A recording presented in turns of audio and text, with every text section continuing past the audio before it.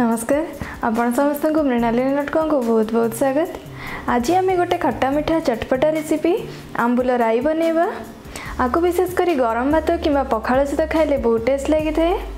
ତେବେ ଆଶା କରୁଛି ଆଜିର ରେସିପିଟି ଆପଣମାନଙ୍କୁ ବହୁତ ଭଲ ଲାଗିବ ଆଉ ଯଦି ଭଲ ଲାଗେ ଭିଡ଼ିଓକୁ ଲାଇକ୍ କରନ୍ତୁ ଏବଂ ହ୍ୱାଟ୍ସଆପ୍ କିମ୍ବା ଫେସବୁକ୍ ମାଧ୍ୟମରେ ଏହାକୁ ସେୟାର ମଧ୍ୟ କରନ୍ତୁ ତେବେ ଚାଲନ୍ତୁ ଦେଖିନେବା ଆଜିର ରେସିପି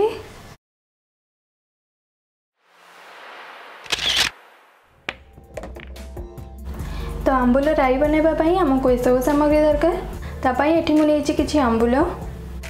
ବେସର ବନେଇବା ପାଇଁ ଦୁଇ ଚାମଚ ସୋରିଷ ହାଫ୍ ଚାମଚ ଜିରା ଦୁଇଟି ଶୁଖା ଲଙ୍କା ଆଉ ପାଞ୍ଚରୁ ଛଅଟି ରସୁଣର କୋଲାକୁ ପନ୍ଦର ମିନିଟ୍ ହେଲା ଏମିତି ପାଣିରେ ଭିଜେଇକି ରଖିଛି କିଛି ଦହି ଚିନି ଭୃସଙ୍ଗ ପତ୍ର ସୋରିଷ ତେଲ ହାଫ୍ ଚାମଚ ପଞ୍ଚଫୁଟଣ ଗୋଟେ ଶୁଖା ଲଙ୍କା ହଳଦୀ ଗୁଣ୍ଡ ଲଙ୍କା ଗୁଣ୍ଡ ଆଉ ତା ସହିତ ନେଇଛି କିଛି ଲୁଣ तो ये आम भिजे रखि सोरष जीरा को अल्प टिके पा देके भलसे ब्लेंड कर ना आदि आपड़ पिज रसुण खाऊना तेल रसुण को स्कीप करी खाली सोरष जीरा और सुखा लंका को लेकिन ब्लेंड करें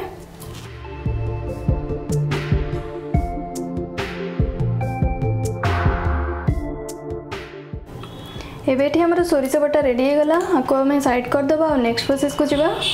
तो आंबुल रई बनवाई मो गैस कड़ाई को हल्का गरम करनी ଆଉ ସେଥିରେ ଏବେ ଆମେ ଦୁଇ ଚାମଚ ସୋରିଷ ତେଲ ଦେବା ତାପରେ ତେଲ ଗରମ ହେଇଗଲା ପରେ ସେଥିରେ ଶୁଖା ଲଙ୍କା ଆଉ ପଞ୍ଚଫୁଟଣ ଦେଇଦେବା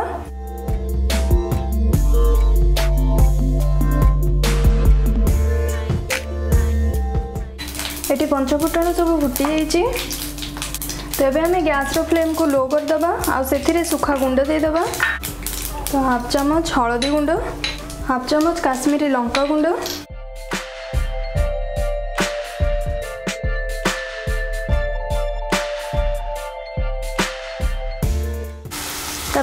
तीन चामच सोरसर बटा देखिए लो फ्लेम गोल सोरस को बेस समय चल ना पिता लगी था तो जस्ट तीस सेकेंड खंड आपको एमती गोल चीनी देदेबा ଚିନି ଜାଗାରେ ଆପଣ ଗୁଡ଼ ମଧ୍ୟ ଦେଇପାରିବେ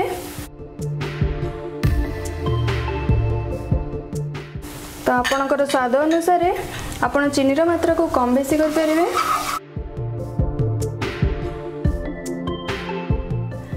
ସୋରିଷ ବଟାର କଞ୍ଚା ଗନ୍ଧ ମରିଯାଇଛି ଆଉ ଚିନି ଆମର ଏଠି ଭଲସେ ମେଲ୍ଟ ମଧ୍ୟ ହୋଇଯାଇଛି ତ ଏବେ ଆମେ ଏଥିରେ ହାଫ୍ ଗ୍ଲାସ୍ ପାଣି ଦେଇଦେବା ଆଉ ଗ୍ୟାସ୍ର ଫ୍ଲେମ୍କୁ ହାଇରେ ରଖିକି ଆକୁ କିଛି ସମୟ ଫୁଟିବା ପାଇଁ ଦେବା ଆପଣ ଦେଖିପାରୁଛନ୍ତି ପାଣି ଏଠି ଫୁଟିବା ଷ୍ଟାର୍ଟ ହୋଇଗଲାଣି ତ ଏବେ ଆମେ ଏଥିରେ ଆମ୍ବୁଲ ଦେଇଦେବା ଯଦି ଆପଣ ପୁରା ଶୁଖା ଆମ୍ବୁଲ ନେଉଛନ୍ତି ତାହେଲେ ପନ୍ଦର କୋଡ଼ିଏ ମିନିଟ୍ ପାଇଁ ତାକୁ ହାଲକା ଗରମ ପାଣିରେ ଆଗରୁ ଭିଜେଇକି ରଖିଥିବେ ତାହେଲେ ସ୍ୱାଦ ଅନୁସାରେ ଲୁଣ ଦେଇଦେବା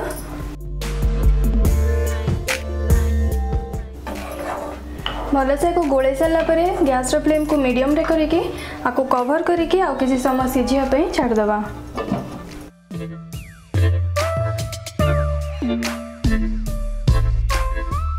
पर टेस्ट कलापर ये मुझे चमच चीनी आड कर तेणु खटा अंश टी जावाई आपण आपणकर स्वाद अनुसार एनी को आड करेंगे एबि पांच मिनिट हो ଆଉ ଏଇଟା ଆମର ହେଇଗଲା ଯଦି ଆପଣଙ୍କୁ ଟିକେ ବେଶୀ ପତଳା ଦରକାର ଗ୍ରେଭି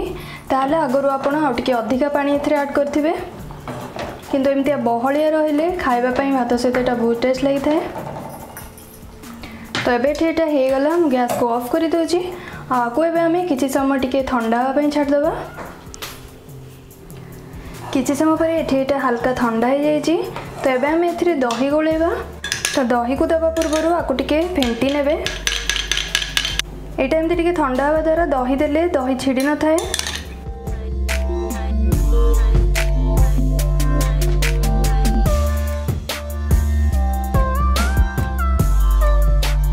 ତ ଏବେ ଏଠି ଏଇଟା ହେଇଗଲା ଆକୁ ଏବେ ଆମେ ଗୋଟେ ସର୍ଭିଂ ବାଉଲ୍କୁ କାଢ଼ିଦେବା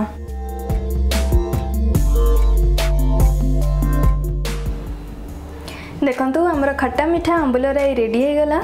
ଆକୁ ଆପଣ ଗରମ ଭାତ ସହିତ ଖାଇଲେ ବହୁତ ଟେଷ୍ଟ ଲାଗିଥାଏ ତେବେ ଏ ରେସିପିକୁ ଆପଣ ଘରେ ବନେଇ ନିଶ୍ଚିନ୍ତ ଟ୍ରାଏ କରନ୍ତୁ ଏବଂ ଆପଣଙ୍କୁ ଏ ରେସିପିଟି କେମିତି ଲାଗିଲା ମୋ ସହିତ ଆପଣଙ୍କର ଅନୁଭବ ସେୟାର କରନ୍ତୁ ଧନ୍ୟବାଦ ତ ପୁଣି ଦେଖା ହେବା ନେକ୍ସଟ ଭିଡ଼ିଓରେ ଆଉ ଏ ପାଖରେ ଥିବା ଫେସ୍ ଆଇକନ୍କୁ କ୍ଲିକ୍ କରି ମୋ ଚ୍ୟାନେଲକୁ ସବସ୍କ୍ରାଇବ୍ କରନ୍ତୁ